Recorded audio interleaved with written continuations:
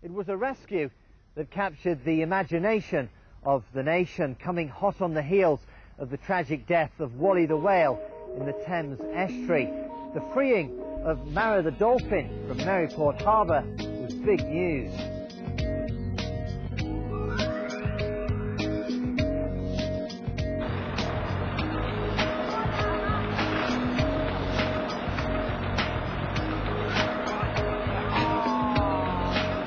The attempt to save the whales on the River Thames. Well, that is what we're talking about went on here.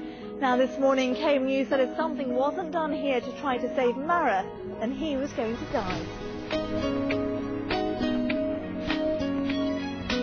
About a mile or so offshore, at least eight metres of water underneath us, off and away, breached a few times, and met up with the second dolphin, which is brilliant, and headed into deeper water.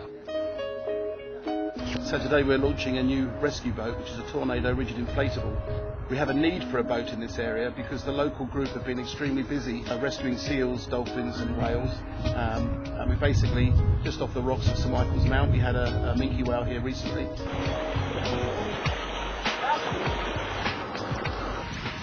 We've got a beached minke whale on the rocks at uh, Long Rock, Penzance. Um, it's around about five metres in length. Some superficial wounds to the underside of the tail fluke.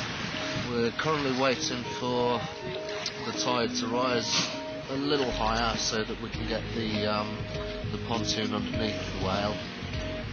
The plan then is to try and get it into about waist deep water, a little closer to shore, uh, let it rest on the pontoon and let the vets um, assess its condition to see whether it's viable for a refloat later on.